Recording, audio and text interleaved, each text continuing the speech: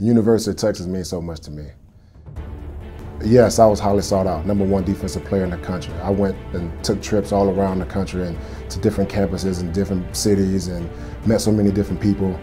But there was nothing like Austin. There was nothing like the University of Texas. There was nothing like the people that I met here when I walked on campus. The warm feeling when you walk through the doors and everybody greets you with a smile and a hug. Those are the things that really resonated with me. A lot of rich tradition uh, folks really buy in and surround themselves about these students that you know that walk on the campus here and play in a Longhorn uniform. This means so much to me. It can change your life if you do it the right way. It has opened so many doors in my life that I couldn't even imagine. You wear that helmet, you put that jersey on, you represent so many people, but you also setting yourself up for a bright future here in the University of Texas. The pride and the winning tradition of the Texas Longhorns will not be entrusted to the weak the timid.